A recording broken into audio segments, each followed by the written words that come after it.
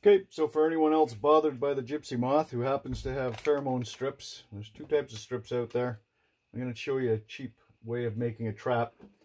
You can buy the $80 ones or you can use juice containers with holes cut in.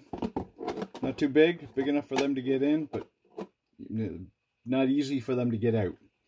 So you get, you know, however many strips you have, make up one of these for each one. I don't know if you can see the hole there, but finger size, whatever. These ones here are good because it's they go down. They can get in easy, but coming out it's a lot harder. Then what you do is you get the cap, drill whatever size holes in there that you need.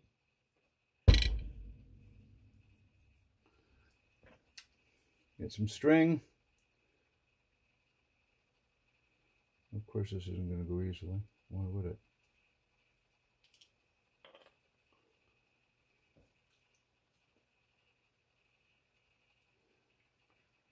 Feed it through. String or tie wraps, whatever you want. Whatever's going to hold it in the tree. Loop it around. And then pull the string back. Get your pheromone strip. Like I said, there's two types. These are the ones left over from last year. I have no idea if these are any good. You're not supposed to touch them with your hands. So basically, you get the strip. Get your hot glue gun. Put blob in there. Drop the strip in. Or, in the case of the newer ones, ones I got this year are quite a bit different. This is designed more for a trap of some sort. These are a little bit different. You stick them in there as well, like that. And then I tighten the string around it. Add another blob of glue. Cover up the holes so rain doesn't get in.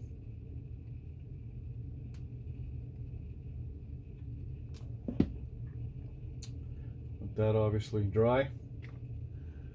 Then you have your pheromone strip. Fill this up with water to about here, a little bit lower. A couple drops of dish soap. Screw cap on. Hang from tree. Every 20 for every day, go out and empty the liquid, which is going to be filled with 50 to 100 moths, depending on how bad your area is. Just a note, do not dump this with the dead moths at the base of the tree because after doing this for about a month, you'll end up with a smelly mess down there. So dump it somewhere else. All right, hopefully that helps someone.